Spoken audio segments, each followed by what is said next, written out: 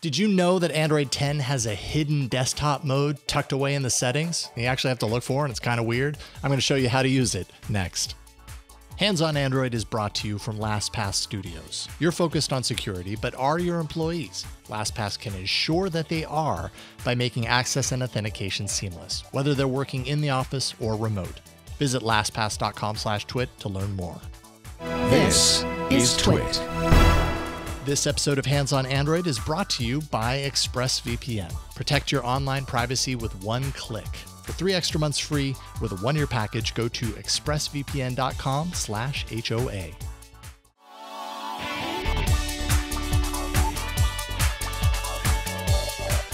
Hello, welcome to Hands on Android. I'm Jason Howell, and this week I thought I'd take a look at something that might not be fully baked or fully functional for you.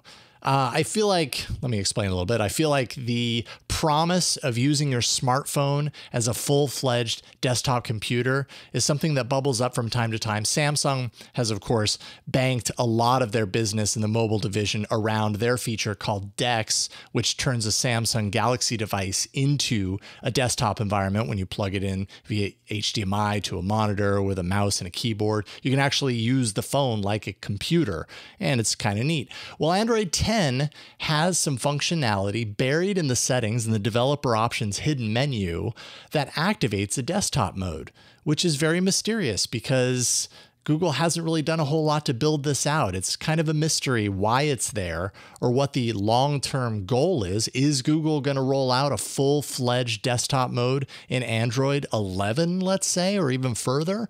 I don't know, but we've got some hints to that in Android 10. So I thought I'd take a little bit of time to kind of explore my own curiosity around this desktop mode to see what it's all about and take you along for the ride. And you can do this on your phone too. It's a non destructive thing. Um, and I'm going to kind of point point out a few different aspects of desktop mode, but we're going to keep things simple here at first. Let's dive in and take a look at how you find this option and what it can actually do for you. So first things first, desktop mode on Android 10 can be found in that wonderful hidden options menu called developer options. Uh, you unlock this, of course, by tapping build number seven times on your Android device and it'll open up the developer settings. So scroll all the way down to developer settings once you're in there and you'll find force desktop mode.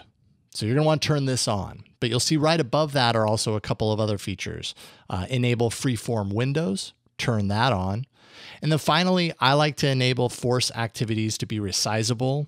Now, this can introduce some oddities in certain apps, but it, uh, it aims to make every app resizable in a window, whether developer uh, built that in or not. So activate that. That gives you a little bit more, um, more fluidity and flexibility in the experience.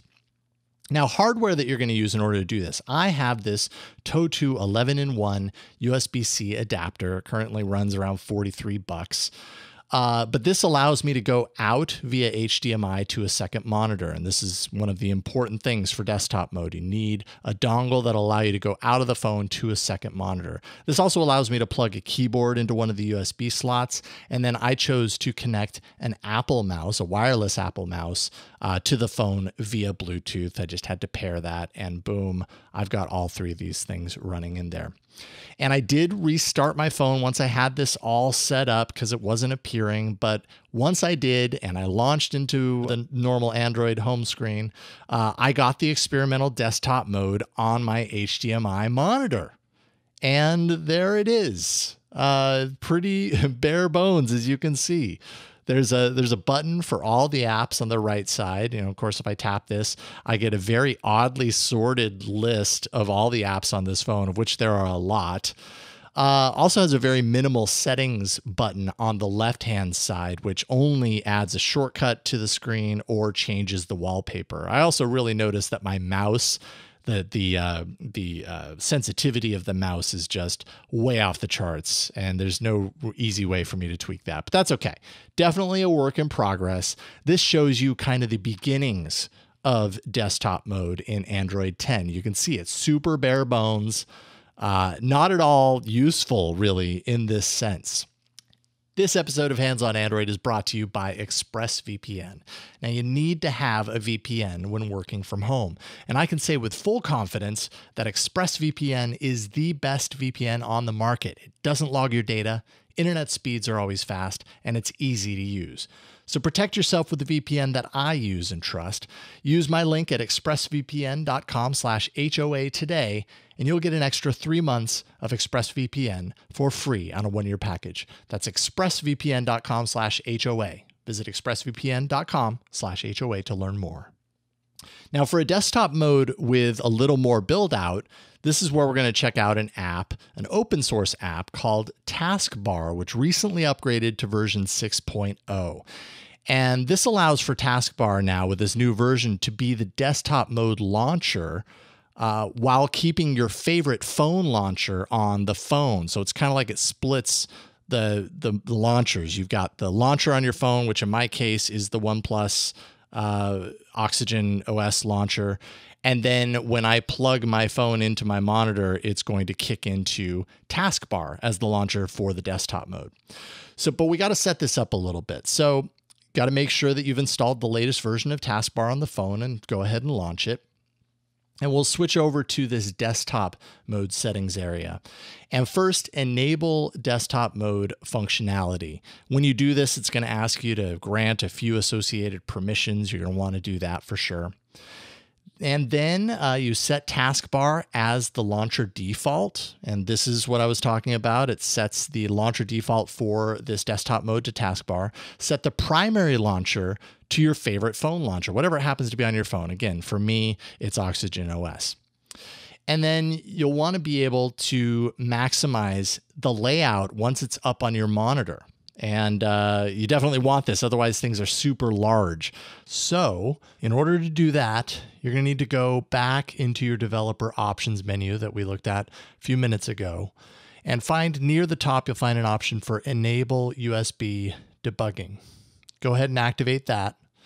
And then this is actually going to allow the computer to talk with the device properly for these next steps. Okay, now back to the taskbar app and go ahead and tap that enable additional settings and it pulls up a little bit of instructions for you. You're going to be shown a simple ADB command to grant additional permissions that will allow you to tweak the display density so things look a bit more normal. So go ahead. So we're going to go ahead and do that real quick. You're going to connect your phone to your PC or your Mac. I'm connecting it to my MacBook Pro. So I'm going to go ahead and launch Terminal once I've connected the phone to the computer.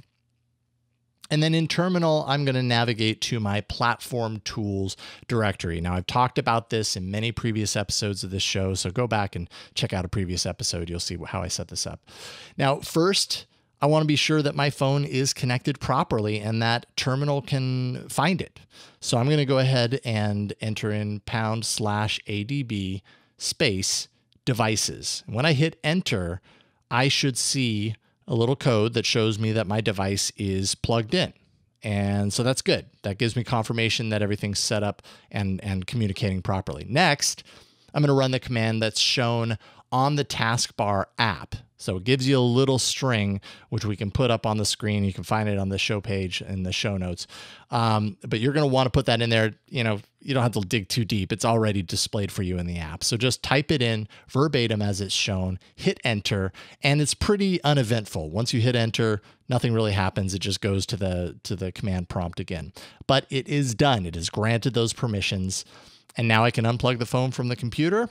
And after we've sent this across, the command is put through. It's kind of uneventful. It doesn't really look like anything much happened, but rest assured that permission now resides on the device. And so we can actually now plug the phone into the HDMI monitor. I'm using my dongle to do that. And once the phone is actually plugged into that HDMI monitor, in the taskbar app, you'll now notice that the display density settings have opened up. And this is really important. This allows you to tweak the size of everything that appears on the HDMI display.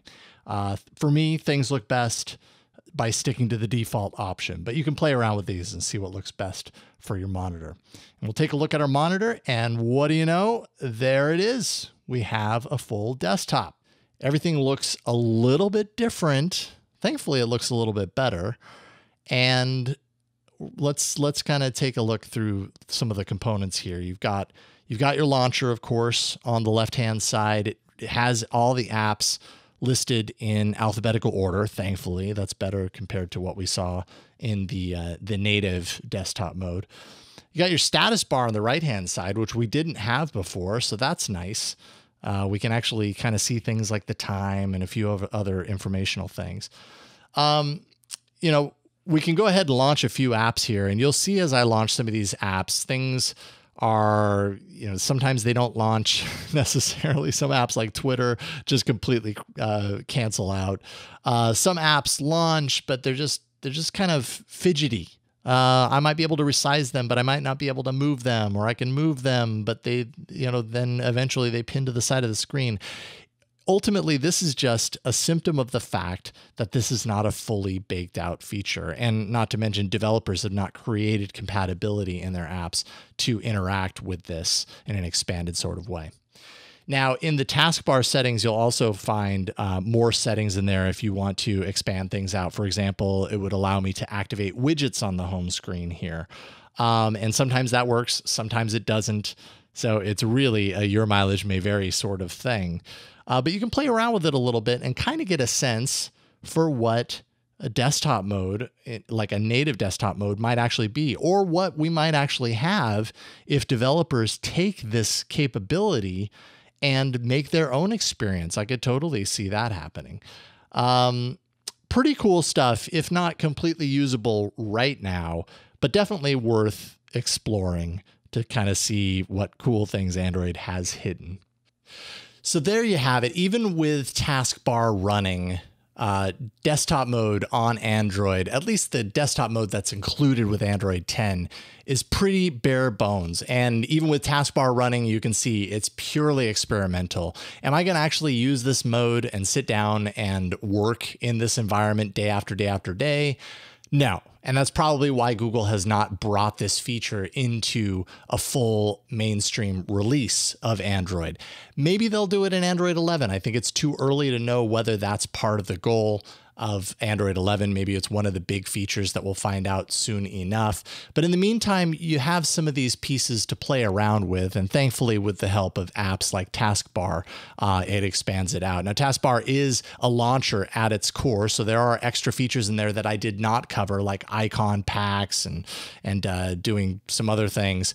Um, but, you know, it's experimental through and through. So play around with it, see what you think, and we can cross our fingers and see if Google comes out with a more official uh, release uh, around desktop mode on Android going forward. Send me your emails, your questions, anything you got at handsonandroid at twit.tv. You can also find all the ways to subscribe to this show by going to twit.tv slash HOA. There you're going to find links to all the different podcatchers, uh, RSS. Uh, you can plug it into any podcatcher that you like, or you can link out to YouTube and find episodes on YouTube. And we hope that you find the way that works for you and subscribe there so you don't have to think about getting these episodes. They just come magically to you. Thank you for watching this week. I'm Jason Howell. We'll see you next time on Hands on Android. Bye, everybody. Hey folks, it's Micah Sargent here, co-host of Smart Tech Today right here on twit.tv. Every single week, Matthew Cassinelli and I sit down to talk about smart tech for the week. That's right. It can get kind of complicated, but there's a lot of news out there. There's a lot of products to dig through. There are a lot of questions to answer, and we try to do that all every single week. From voice assistants to wearables to smart garage door openers and lights, there's so much to cover and, well, so little time. So be sure to check it out. It's twit.tv slash STT. Huh, that rhymes.